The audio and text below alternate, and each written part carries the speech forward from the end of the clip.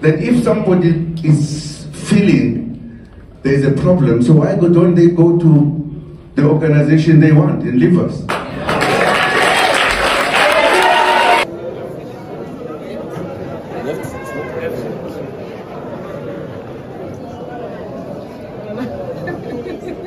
They seem to be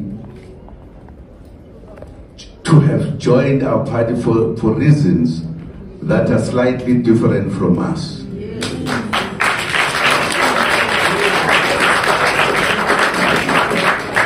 And if there are cadres of Umkhonto, Lowetu, they must stop doing it. This organization has not finished a year. It's new. Everybody here is new. There's nobody older than others.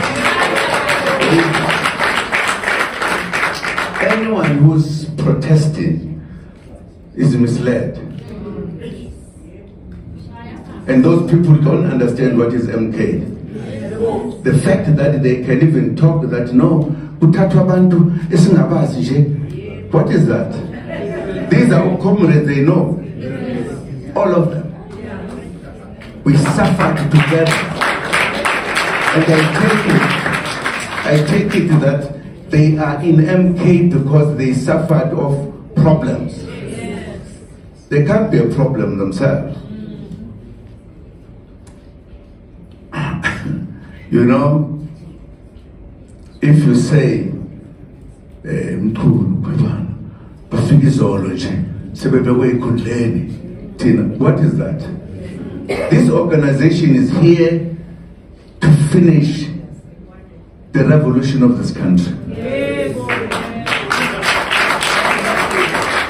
And you can even and it has been done in many in many political things that other politicians recruit others for specific purposes. You can't make that an issue. Then if somebody is feeling there's a problem so why go, don't they go to the organization they want and leave us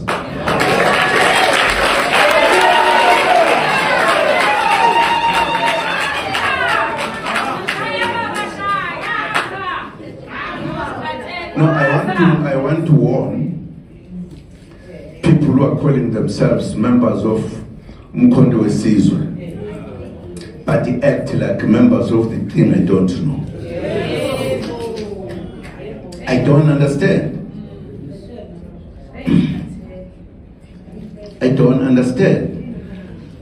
Those people, it means they joined the ANC for positions, not to help us complete our own freedom in South Africa. And if they start to doing that, I'm telling you, we are going to have a problem with them.